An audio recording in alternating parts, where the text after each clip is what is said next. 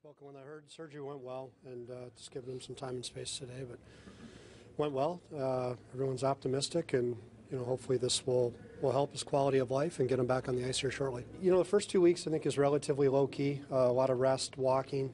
Uh, hopefully, uh, I believe at the two week mark he can progress to biking and, and go from there.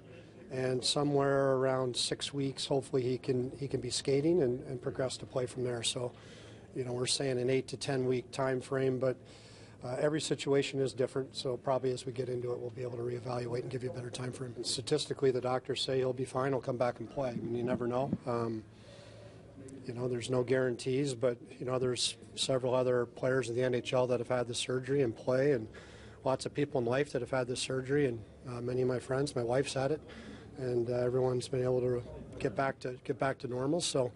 Um, again, there's no guarantees, but you know, he, uh, you know, we're pretty confident that he'll be in a good place in a few weeks. You know, again, he consulted with uh, with our medical team, with Dr. Boyd and Dr. Mullaney, and, and with John Worley, and uh, spoke with John Rizzo's at the PA, and uh, spoke with his family, and he ended up speaking with a, with a few players that have that have gone through the process. So, I know for him. Um, you know, last time we were able to avoid surgery, everything uh, resolved on its own.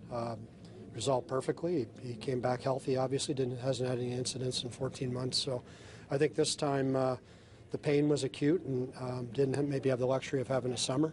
So at this point, uh, I think it just made sense from a lot of different in a lot of different ways for him just to get this done now.